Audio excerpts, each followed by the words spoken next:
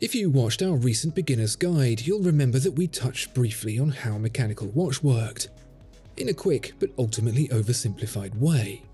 If that left you unsatisfied and hungry to learn more, well, your time has come, because how on earth does a mechanical watch work anyway?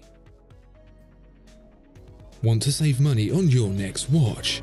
The Watchfinder price promise means you'll get the best price. Search Watchfinder to discover more. Before we dig in deep to the mechanics of Switzerland's favourite little engine, let's contemplate for a moment how we even came to find ourselves having this conversation. We instinctively know that timekeeping is important, with many sentient beings already having a natural body clock working within the circadian rhythm to know when to go to sleep.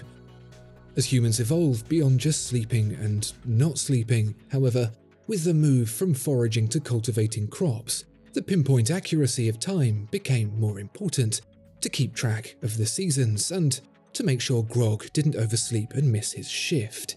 The sun and moon served as convenient indicators of both these things.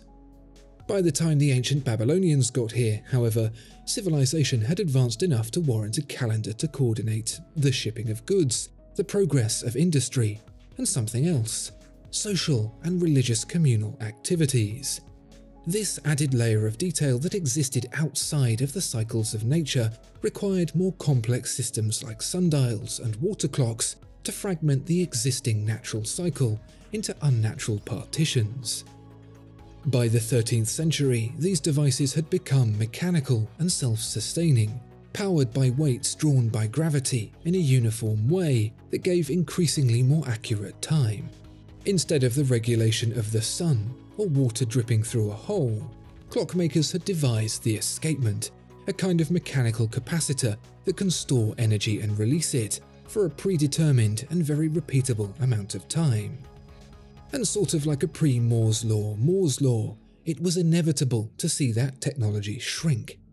Accuracy improved enough in the 17th century to display finer detail as minutes and seconds, the French actually tried to decimalize timekeeping into a day of 10 hours, each with 100 minutes, each of those with 100 seconds, but that didn't last even two years.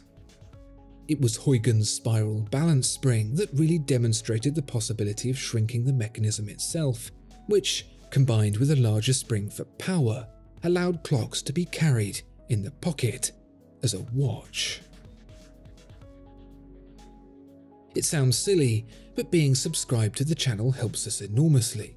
Thank you if you are, and if you're not, please do consider it.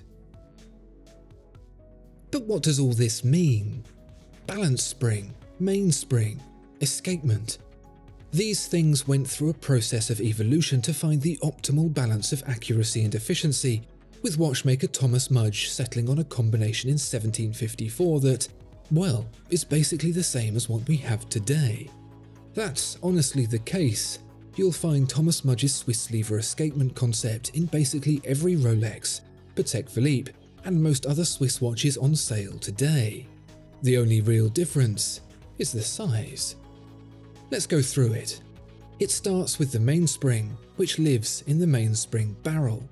That does exactly what you think it does. It's wound tight, and when it unwinds again, it provides power, just like in a clockwork toy. Only you don't need to wind it with a key, at least not anymore, because you can do it with the crown. Many watches also have an automatic winding system that uses the wearer's motion to spin an asymmetric mass. So what happens to all that power? It needs to be geared for hours, minutes, and seconds. The first wheel from the mainspring gives you hours.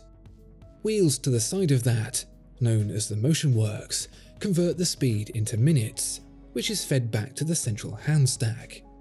For seconds, three more wheels are needed, with the fourth wheel itself driving the second subdial, or feeding power back to the central stack for central seconds. You might be wondering, however, what stops the spring unwinding as fast as possible spinning the hands around at a million miles per hour. That's where Thomas Mudge's Swiss lever escapement comes in, and it's by far the cleverest part of the whole mechanism. Think about it like this. If you had a bucket filled with water with a big hole in the bottom, left unchecked, it would simply empty as fast as it could. But let's say we wanted to control that flow to, say, 1 milliliter per second. We would need some way to only allow the right amount to escape, and to do it routinely once per second. What you could do is block the hole with a spring-loaded flap. Push the flap and it opens and water comes out. Let go of the flap and it closes again and the flow stops. But how to control the volume and regularity? With a wheel spinning once per second that has a protrusion that pushes the flap open once every rotation for long enough to release 1 milliliter.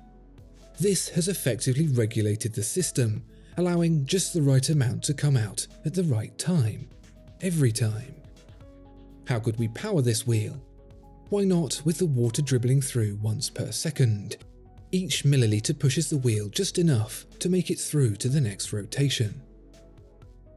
That's basically what we have in the Swiss lever escapement, but instead of water, we have torque from a spring. And instead of a bucket with a hole, we have the escape wheel that, left unchecked, will spill out all that torque. Then there's the pallet fork, which is like our flap, that can jam and release the escape wheel to control the flow of torque. There's also a wheel with a single tooth, just like our hypothetical water clock, but instead of pushing the flap once per rotation and releasing water, it pushes the pallet fork once per rotation and releases torque. That's the balance wheel. How is the balance wheel powered? Like our water system, with the very power it's trying to regulate. The mainspring power pushes the balance wheel, which unjams the pallet fork, which allows the escape wheel to turn, which starts the cycle over again, powering the balance wheel, unjamming the pallet fork, allowing the escape wheel to turn.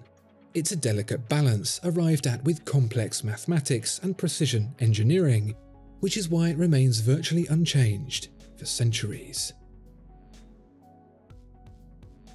Hopefully that gives you a little bit more insight into how a mechanical watch provides accurate timekeeping from nothing more than the power of a spring. If you enjoyed this video and want to see more like it, why not let us know down in the comments?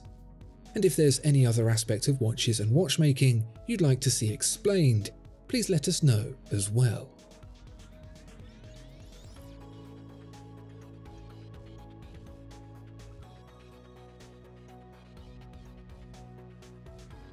Discover more exceptional watches at Watchfinder. Thank you so much for watching this video. If you enjoyed it, please do consider giving it a like and subscribing to the channel. If there are any watches you'd like to see featured, please let us know in the comments below.